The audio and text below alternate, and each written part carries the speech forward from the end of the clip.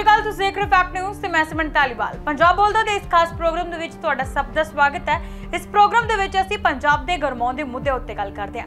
ਅੱਜ ਅਸੀਂ ਗੱਲ ਕਰਾਂਗੇ ਪੰਜਾਬ ਦੇ ਵਿੱਚ ਲਗਾਤਾਰ ਪਰਾਲੀ ਦੇ ਮੁੱਦੇ ਵੱਧਦੇ ਜਾ ਰਹੇ ਹਨ। ਤੇ ਦੂਜੇ ਪਾਸੇ ਅਸੀਂ ਵੇਖੀਏ ਤਾਂ ਕਿਸਾਨਾਂ ਦੇ ਉੱਤੇ ਪਰਚੀਆਂ ਦੀ ਗਿਣਤੀ ਵੀ ਵਧਦੀ ਜਾ ਰਹੀ ਹੈ। ਜੀ ਹਾਂ, ਇੱਕ ਪਾਸੇ ਜਿੱਥੇ ਕਿਸਾਨ ਧਰਨੇ ਲਗਾ ਰਹੇ ਹਨ, ਪ੍ਰਦਰਸ਼ਨ ਕਰ ਰਹੇ ਹਨ, ਤਾਂ ਜੋ ਕਿਸਾਨਾਂ ਦੇ ਉੱਤੇ ਹੋਏ ਪਰਚੀਆਂ ਨੂੰ ਕਿਸੇ ਨਾ ਕਿਸੇ ਤਰੀਕੇ ਦੇ ਨਾਲ ਹੱਲ ਕੀਤਾ ਜਾਵੇ, ਪਰ ਦੂਜੇ ਪਾਸੇ ਸਰਕਾਰ ਦੇ ਵੱਲੋਂ ਸਖਤੀ ਵਰਤੀ ਜਾ ਰਹੀ ਹੈ, ਪਰ ਪਰਾਲੀ ਦੇ ਸੜਨ ਦੇ ਮਾਮਲੇ ਘਟਣ ਦਾ ਨਾਮ ਨਹੀਂ ਲੈ ਰਹੇ, ਕਿਉਂਕਿ ਕਈ ਤਰ੍ਹਾਂ ਦੇ ਜੁਰਮਾਨੇ ਵੀ ਲਗਾਏ ਜਾ ਰਹੇ ਹਨ। ਆਖਿਰਕਾਰ ਇਸ ਪੂਰੇ ਮਾਮਲੇ ਦੇ ਵਿੱਚ ਅਸਲ ਗੱਲ ਕੀ ਹੈ ਕਿ ਕੌਣ-ਕੌਣ ਜ਼ਿੰਮੇਵਾਰ ਹੈ ਤੇ ਕੀ ਕੀ ਇਸ ਦੇ ਹੱਲ ਨਿਕਲ ਸਕਦੇ ਹਨ, ਇਸ ਮਾਮਲੇ ਤੇ ਅੱਜ ਗੱਲ ਕਰਾਂਗੇ ਤਾਂ ਦੇਖਦੇ ਹਾਂ ਵਿਸਤਾਰ ਨਾਲ।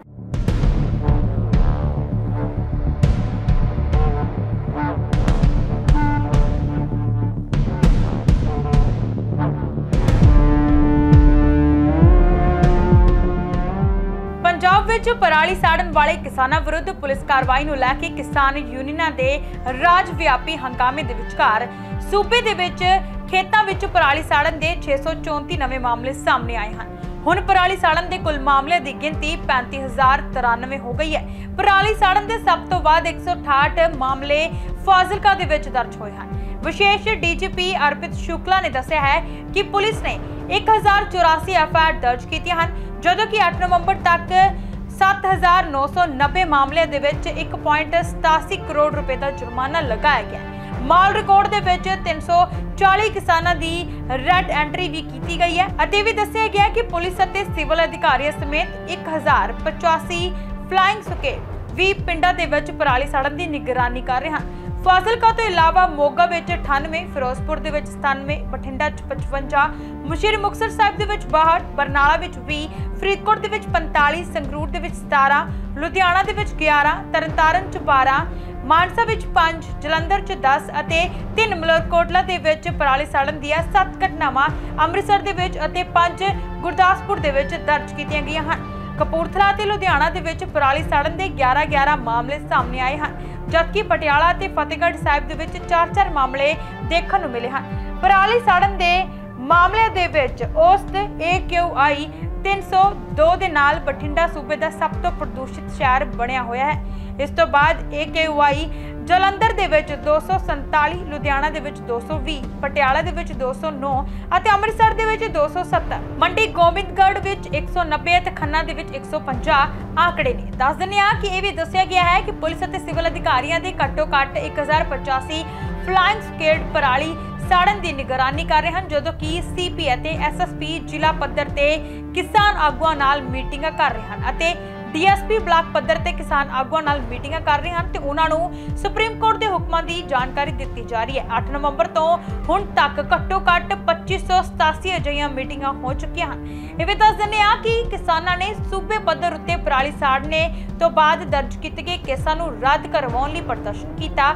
ਇਸ ਮੌਕੇ ਕਿਸਾਨਾਂ ਨੇ ਪਰਾਲੀ ਦੀਆਂ ਟਰਾਲੀਆਂ ਭਰ ਕੇ ਡੀਸੀ ਦਫ਼ਤਰ ਦੇ ਸਾਹਮਣੇ ਰੱਖ ਦਿੱਤੀਆਂ। ਪ੍ਰਦਰਸ਼ਨ ਦਾ ਹਿੱਸਾ ਰਿਹਾ ਅਤੇ ਇਸ ਦੌਰਾਨ ਕਿਸਾਨਾਂ ਨੇ ਹਾਈਵੇ ਜਾਮ ਕਰਕੇ ਕਈ ਘੰਟਿਆਂ ਤੱਕ ਪ੍ਰਦਰਸ਼ਨ ਵੀ ਕੀਤਾ।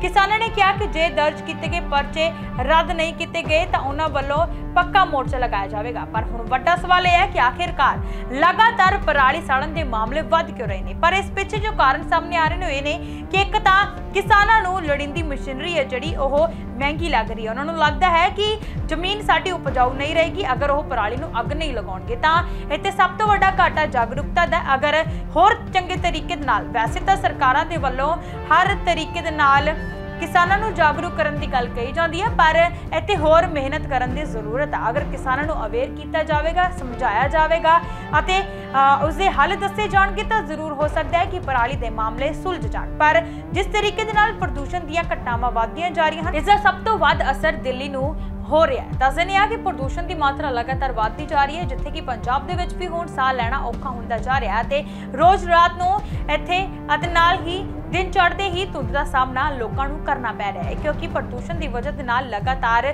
ਧੁੰਦ ਵਿੱਚ ਵੀ ਵਾਧਾ ਹੋ ਰਿਹਾ ਹੈ। ਪਰ ਹੁਣ ਕਿਸਾਨਾਂ ਨੂੰ ਸਮਝਾਉਣ ਦੀ ਲੋੜ ਹੈ ਅਤੇ ਨਾਲ ਹੀ ਹੁਣ ਸਰਕਾਰਾਂ ਨੂੰ ਵੱਡੇ ਕਦਮ ਚੁੱਕਣ ਦੀ ਲੋੜ ਹੈ ਤਾਂ ਜੋ ਪਰਾਲੀ ਦੇ ਸਾੜਨ ਦੇ ਮਾਮਲੇ ਦੇ ਉੱਤੇ ਠੱਲ ਪਾਈ ਜਾ ਸਕੇ। ਤੁਸੀਂ ਜਾਣਿਆ ਕਿ ਕਿਸ ਤਰੀਕੇ ਦੇ ਨਾਲ ਪਰਾਲੀ ਦੇ ਮਾਮਲੇ ਲਗਾਤਾਰ ਵਧਦੇ ਜਾ ਰਹੇ ਹਨ, ਪਰ ਜੋ ਉੱਥੇ ਅਸੀਂ ਨਜ਼ਰ ਮਾਰੀਏ ਤਾਂ ਸਰਕਾਰ ਦੇ ਵੱਲੋਂ ਵੀ ਕਿਸੇ ਤਰੀਕੇ ਦੀ ਕੋਈ ਗੁੰਜਾਇਸ਼ ਨਹੀਂ ਛੱਡੀ ਗਈ ਕਿ ਕਿਸਾਨਾਂ ਨੂੰ ਜਾਗਰੂਕ ਕੀਤਾ ਜਾਵੇ। ਪਰ ਹੁਣ ਸਮਝਣ ਦੀ ਜ਼ਰੂਰਤ ਇਹ ਹੈ ਕਿ ਜੇ ਅਸੀਂ ਪਰਾਲੀ ਨੂੰ ਲਗਾਤਾਰ ਅੱਗ ਲਗਾਉਂਦੇ ਰਵਾਂਗੇ, ਸਾੜਦੇ ਰਵਾਂਗੇ, ਤਾਂ ਆਉਣ ਵਾਲੀਆਂ ਪੀੜ੍ਹੀਆਂ ਨੂੰ ਇਸ ਦਾ ਸਭ ਤੋਂ ਵੱਡਾ ਨੁਕਸਾਨ ਝੱਲਣਾ ਪਵੇਗਾ। ਤੁਹਾਡਾ ਕੀ ਕਹਿਣਾ ਜੇ ਅਗਰ ਤੁਸੀਂ ਇਸ ਵੀਡੀਓ ਨੂੰ ਵੇਖਣ ਵਾਲੇ ਕਿਸਾਨ ਹੋ, ਤਾਂ ਤੁਹਾਨੂੰ ਕੀ ਲੱਗਦਾ ਹੈ ਕਿ ਪਰਾਲੀ ਨੂੰ ਸਾੜਨ ਦੇ ਹੱਲ ਕੀ ਹੋਣੇ ਚਾਹੀਦੇ ਨੇ? ਕੀ ਹੋਰ ਵਧੀਆ ਸੋਲੂਸ਼ਨ ਕੱਢੇ ਜਾ ਸਕਦੇ ਨੇ, ਵਧੀਆ ਸੁਝਾਅ ਤੁਹਾਡੇ ਵੱਲੋਂ ਜੋ ਵੀ ਦਿੱਤੇ ਜਾ ਸਕਦੇ ਨੇ, ਤੁਸੀਂ ਪਲੀਜ਼ ਸਾਡੇ ਕਮੈਂਟ ਬਾਕਸ ਵਿੱਚ ਦਿਓ ਅਤੇ ਇਸੇ ਤਰ੍ਹਾਂ ਦੀ ਹੋਰ ਜਾਣਕਾਰੀ ਲੈ ਕੇ ਫਿਰ ਤੋਂ ਹਾਜ਼ਰ ਹੋਵਾਂਗੇ। ਫਿਲਹਾਲ ਇਜਾਜ਼ਤ ਧੰਨਵਾਦ।